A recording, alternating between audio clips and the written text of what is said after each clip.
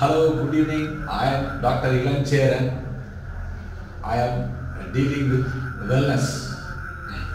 How we can take care of our health from a different perspective.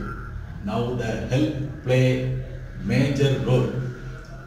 Whatever may be your profession, until unless you have sound health, then only you can work out in your profession, you can achieve your result. Today we have learned lot of useful aspects on online, how we can we can go on online, what are all the different aspects, how we can get the right client, what are all the techniques by which we can get the right client how we can reach them, how we can get more result. See, in real uh, life, we are employing a lot of technique, but what is the result?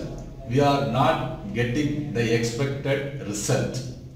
Here, just I really learned how we can, what are the techniques by which we can achieve the maximum result really very useful.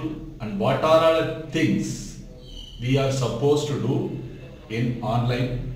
And what are all the things we are not supposed to do.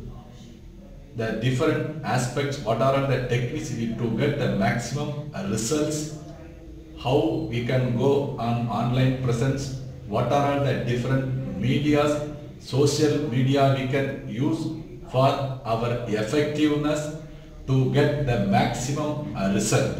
Really, it is very wonderful and it very useful. I really learned a lot from this technique. Thank you very much.